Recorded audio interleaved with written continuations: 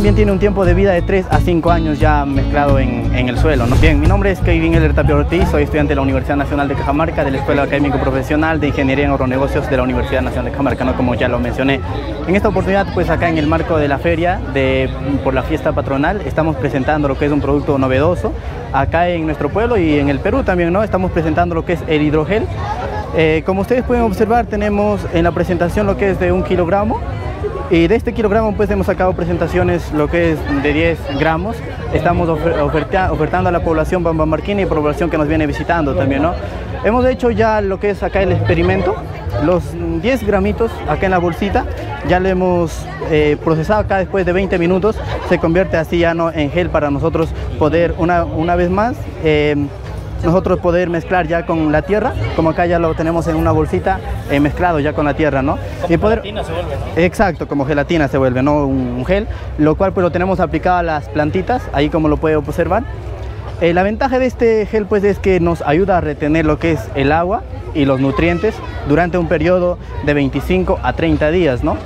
Eh, asimismo también tiene un tiempo de vida de 3 a 5 años ya mezclado en, el suelo, ¿no? Eso es muy importante y destacable ¿no? para nosotros los cultivos. Eh, con esto estaremos optimizando pues el agua y los nutrientes, ¿no? Eh, Estamos nosotros presentando esta propuesta ya que nos pareció de, mucha importancia. Acá en la provincia muchos lugares y en el Perú pues carecen de agua, del recurso hídrico, ¿no? Y por ejemplo nuestras plantitas ornamentales también que puede ser muy útil en nuestra casa, que nosotros muchos tenemos. Eh, durante pues el periodo de 25 a 30 días pues eh, ya no podemos estar regando quizá todos los días, ¿no? Sino pues ya este hidrogel pues absorbe el agua y los nutrientes y durante este tiempo proporciona a la planta pues la cantidad de agua y nutrientes requeridas, ¿no? Cuéntame, eh, la capacidad de absorción de 10 gramos, ¿a cuánto? Es, la capacidad de la absorción del hidrogel pues es 500 veces el tamaño de, de cada partícula del hidrogel. Es decir, pues una partícula de hidrogel podemos observarlo que es un poquito pequeña, es 500 veces se lo absorbe ¿no? su tamaño, la cantidad de agua. La composición de este producto. Está compuesto pues mm, básicamente de potasio. De potasio. potasio.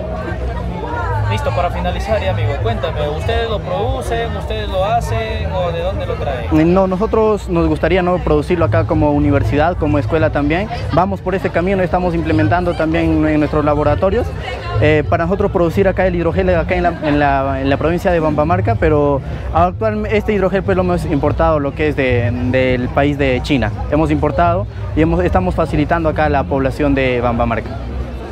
¿Tú crees que se pueda procesar, eh, crear acá en el Perú, en la universidad?